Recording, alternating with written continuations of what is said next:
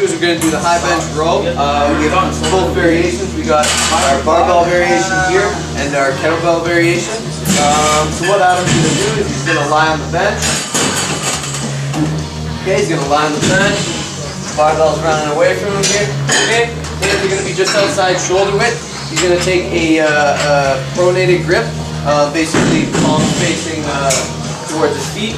Okay, head's going to be straight. He's going to be essentially a, a, flat line from his butt to his head. What he's going to do is he's then going to roll the barbell up, touch the uh, the bench. Okay. When he's coming up, he's going to squeeze his shoulder blades together. Top, good. And go back down. You want to lower it nice and controlled.